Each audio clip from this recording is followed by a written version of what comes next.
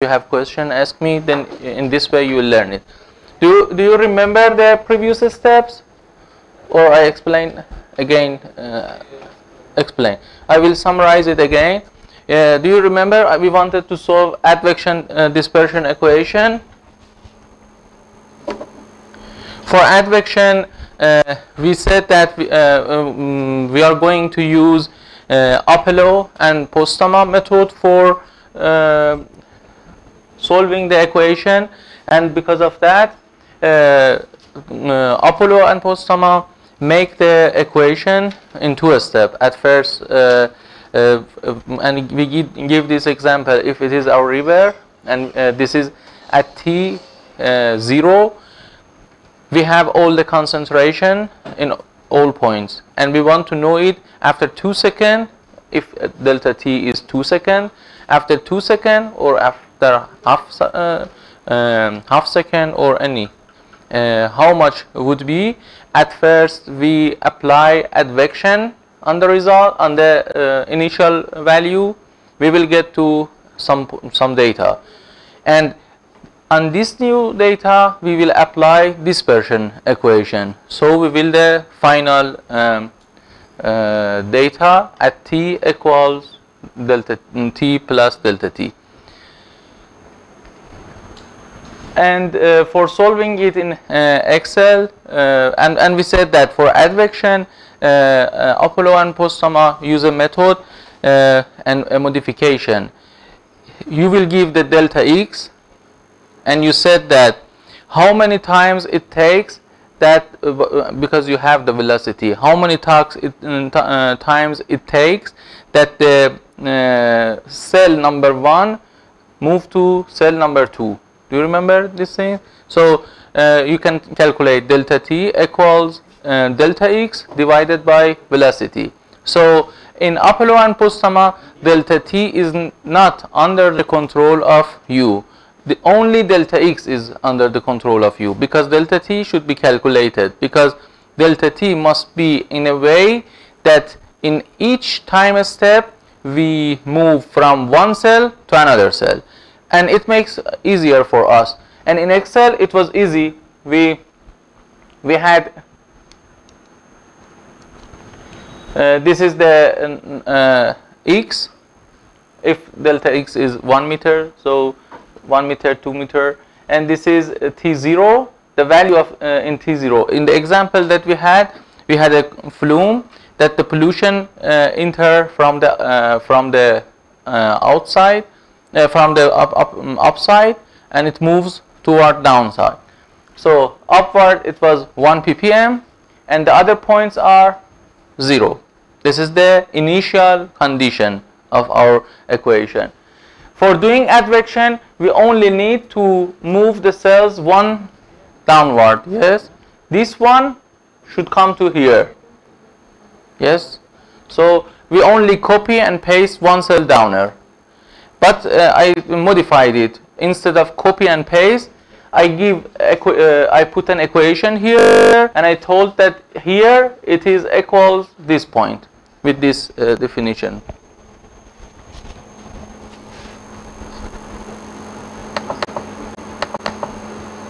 You see? I put it h4 so it, uh, it will be much easier later. It is not necessary every time I do copy and paste. Now it has a, a formula. If I copy it in the other part also it shift one down. So because we want to uh, have one shift. And we know that the upper part always is 1 because the in, uh, we are um, uh, entering the um, mm, pollutant from the upstream continuously. Yes? So always we have here uh, 1 okay uh, so I make it easier. Uh, and all these cells have this formula. You see? The other cell also has H5 you see one cell downer this is for advection. And for dispersion for dis- diffusion dispersion uh, now after we add uh, advection we should uh, apply on these data the diffusion equation okay So we applied this formu formulation on, on it.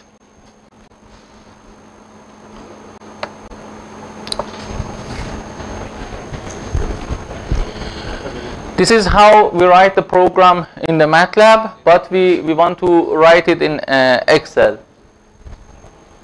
I should choose the point.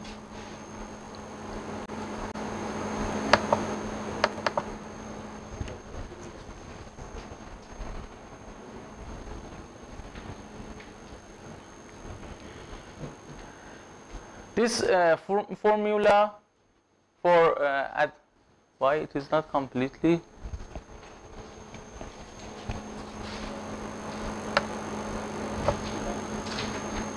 do you see it? Oh, yeah. This is a, formula uh, that we talked about it uh, yesterday for calculating the um, new concentration for point 2 until point n minus 1. Do you, do you remember? Uh, do you want, uh, if you it is not clear, tell me that I showed the slide that how we calculate uh, mm, the I show it. Okay.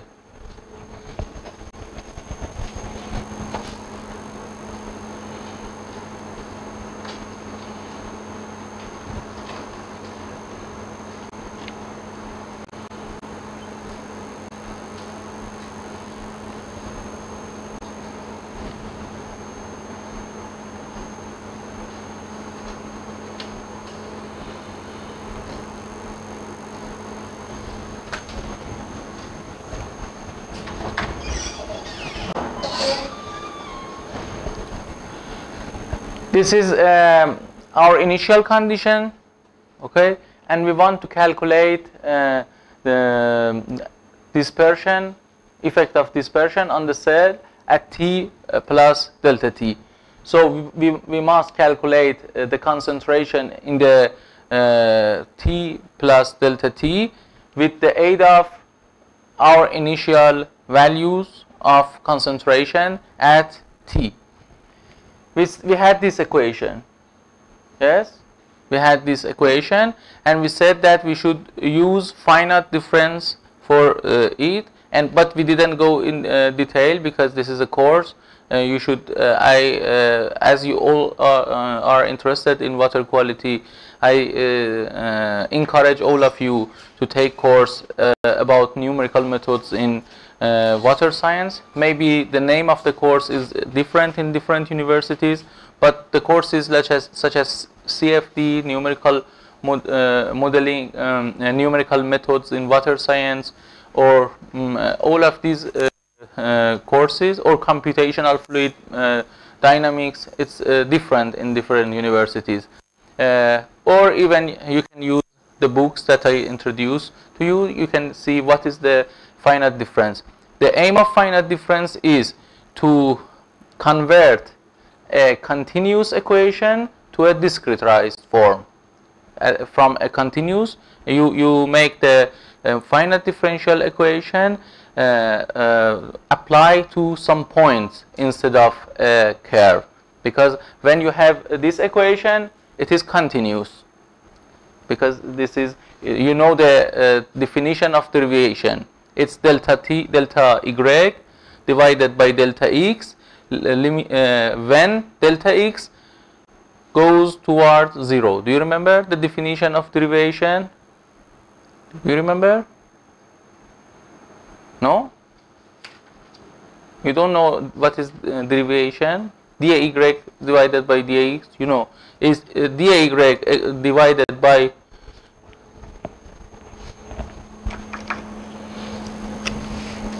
Dear Greg.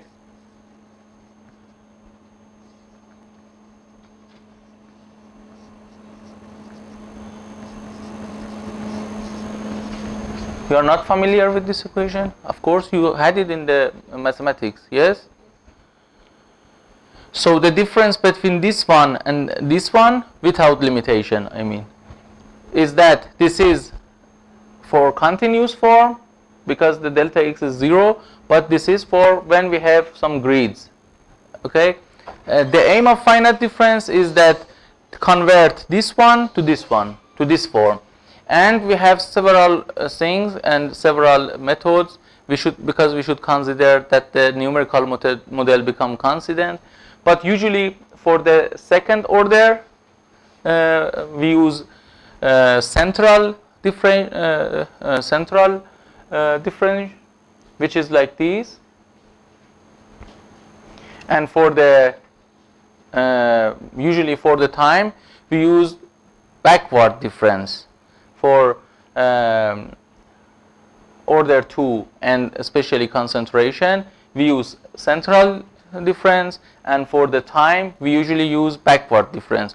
When we say backward backward difference it means that for a um, uh, for calculating concentration in sorry we compare the concentration in each point with the previous point. You see ci new minus ci we compare the new with the previous one.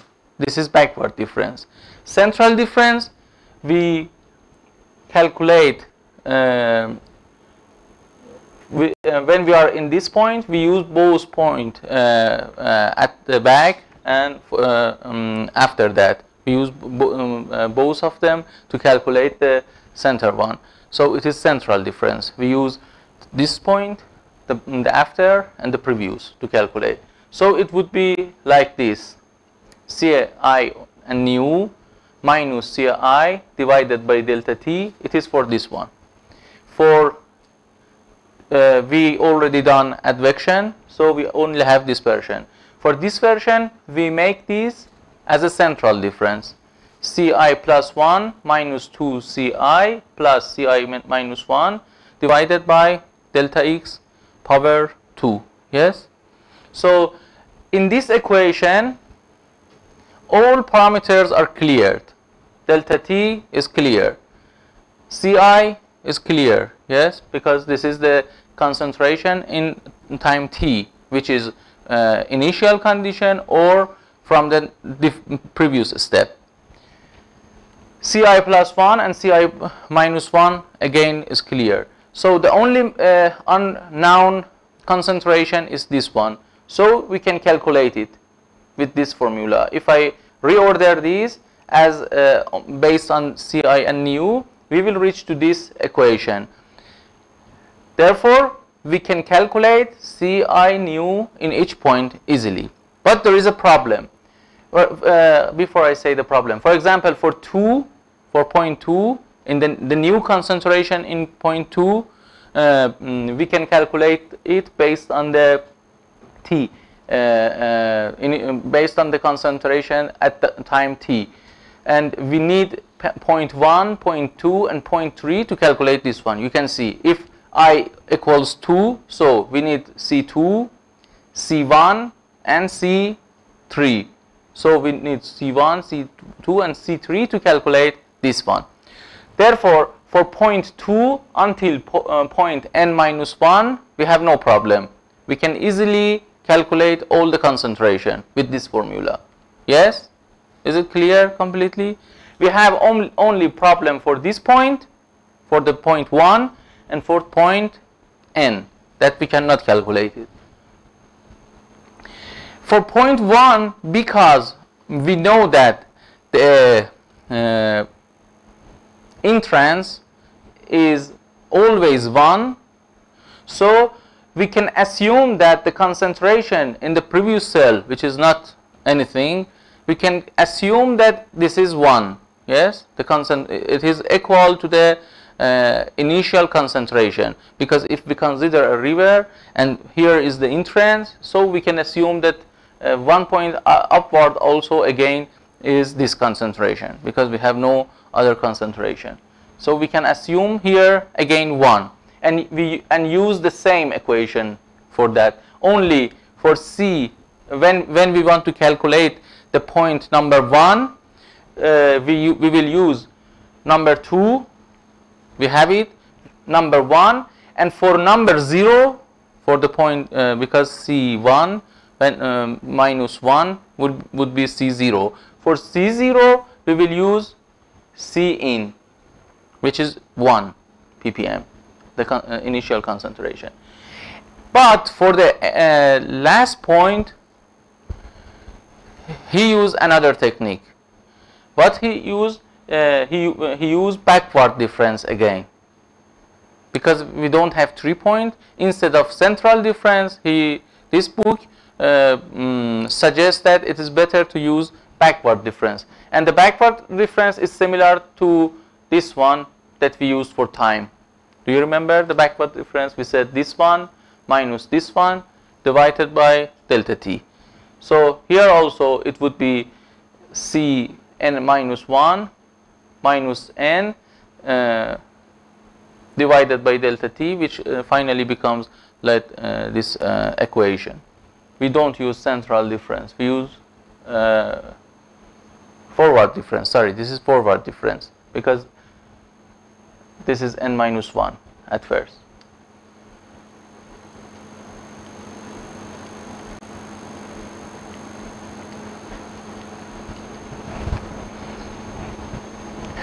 okay uh, so now you know the uh, how this uh, excel file should be completed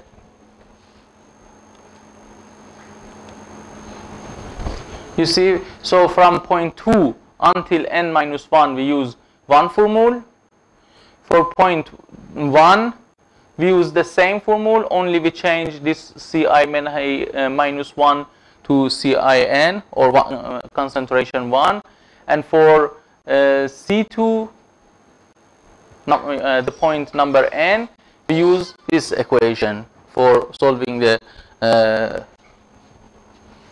equation.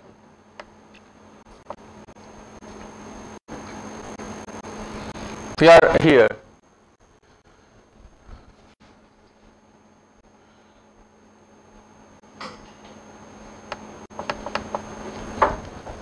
Here I assumed uh, the Neumann number 0.3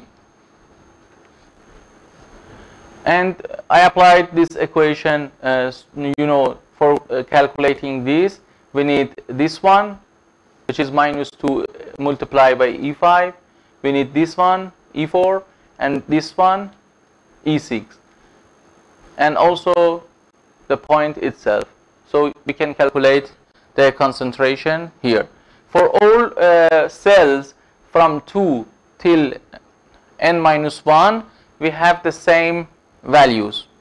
Yes uh, I mean the same equation so we copy copy this equation to all equation you already work with uh, Excel you know when you copy a formula and paste it to another cell the formula will copy it and and these uh, these uh, address are relative address. So when you copy and paste it, then to the this point, then again it use this three point. So automatically um, uh, Excel understand what we need and what we want, and he do it.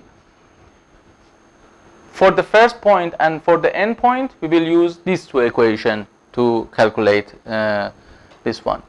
Uh, my suggestion is that at first you do the same things that I have done, then you will learn but uh, later that on I will give a new example and then uh, uh, because that the initial condition change a little bit then you will uh, uh, we will be sure that you understand the com mm, concept completely because you can now solve a new uh, situation. If the concentration is in the middle of the river what would be happen? And for this the first example I want to do it one time with uh, Neumann 0.3 and the other time with Neumann 0.5 to compare uh, if New, Neumann 0.5 also uh, solve it easily or not. Uh, so start to do it now you have the formula and if you have and uh, sorry but with this new relative uh, address that I have done now it is very easy. For example, uh, you know, this is my first step, yes. This is the second time. And this is the third delta t, yes. That is the third delta t, delta t1, delta t2, because each delta t needs two calculation, one for advection, one for diffusion or dispersion. So uh, we uh, till now I forward three delta t, and with this new relative um, address, it's uh, it is only you should for the fourth one I need only do this. Copy.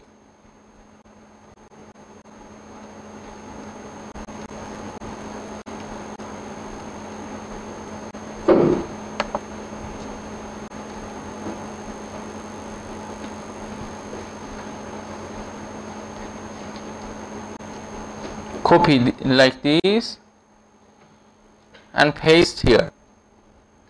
And now everything done automatically. And now this is 4 because in this way uh, you, you see advection also uh, work very well. This one shift one time down because I give the address for advection this one. And for this point I gave it this one equals to this one. So it automatically goes 1 and this one is always 1 so I put it 1 it has no formula. Always the first point is 1 and the diffusion we already put the formula so you will see what happened. And now I only need to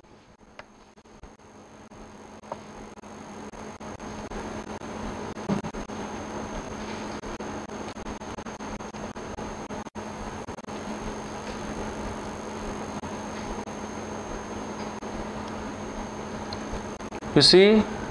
And it is done automatically easily.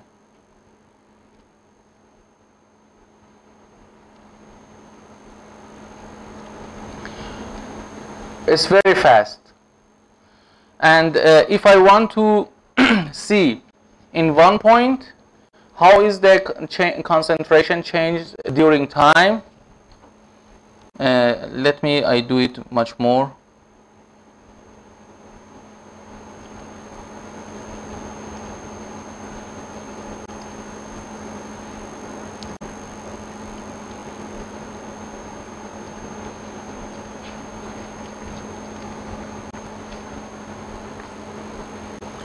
you only need uh, to make a copy.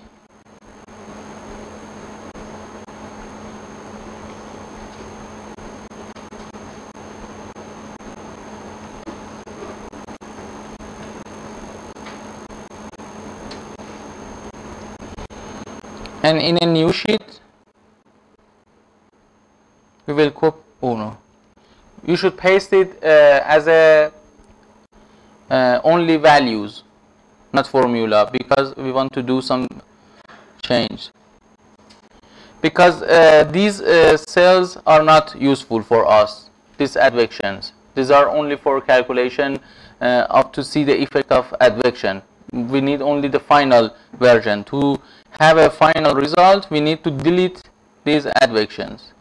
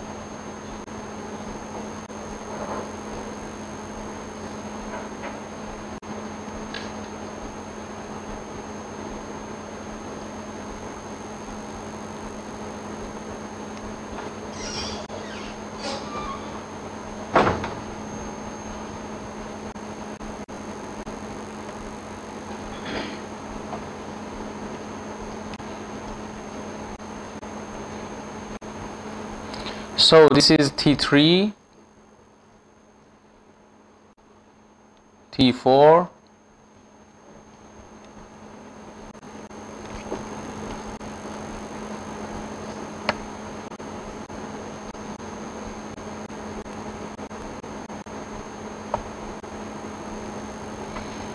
And if I want to see how is the change, for example, in 12 meter, this is 12 meter. In 12 meters, how is the uh, con concentration ch uh, change in the point 12 in the river uh, in different times? So it's only needed that I mm, check, mm, uh, select these cells because it is the uh, concentration change in different time in uh, in the point number 12.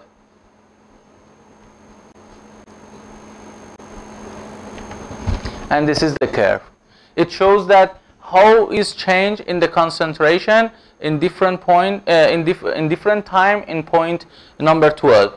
Here uh, it, uh, uh until the time uh, delta t8 we, because our delta t is not clear now because we only gave uh, um, 0.3 yes uh, for uh, Neumann and the Neumann is differential uh, sorry dispersion coefficient multiplied by delta t divided by delta x but um, power 2 but we didn't define any delta t and delta x. In real we have velocity and everything and then we calculate delta t and delta x. So please uh, do this one for Neumann number 2 and Neumann number 10 then I will explain other things later. And, uh, and the same also we can uh, see in different delta E, uh, for example 8 second or in, in, delta T8 how is the change in the uh, concentration in the one point. In, in uh, for example I want to know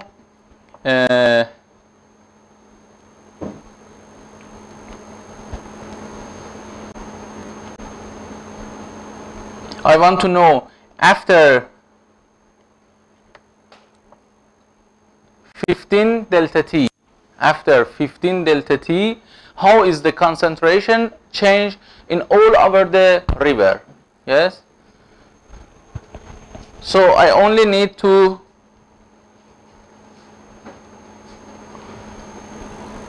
select and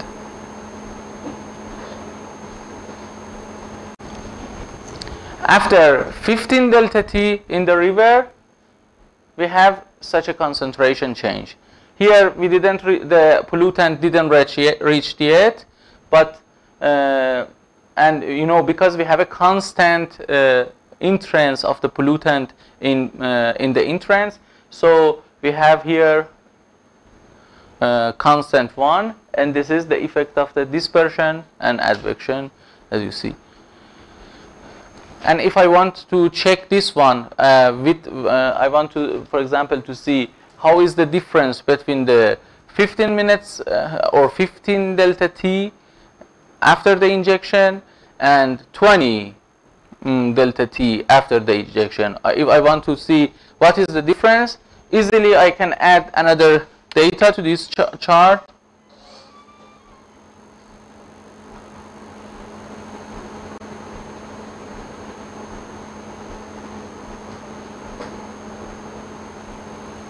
For example, 19.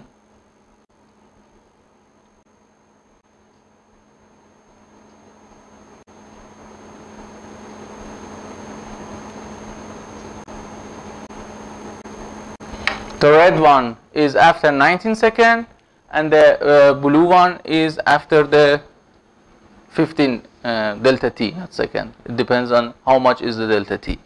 So you can see uh, it's really work well and we can uh, model the pollutant transport based on advection and dispersion only, not uh, other parameters. But the other parameters is also add one uh, to it. This is the simplest way of uh, modeling, one of the simplest way of uh, modeling of the solute uh, transport. So please do it one time with 0.3 as I did it, then you can check that your formula is good or not. And I um, suggest that instead of um, you see I, uh, I put uh, Neumann 0.3 inside the cell. I uh, suggest that you write on the upward uh, uh, up uh, top of the, your excel sheet new equals 0.3 and then give the address to this point. Then when you want to do it for 0.5 you only need to change 0.3 to 0.5 you, you need again you don't need to again make a sheet and different things it, it makes your work uh, much more easier. So put new mm, man uh, 0.3 in the outside of uh, calculation not inside the equation. Do you understand what I mean? Okay so please do it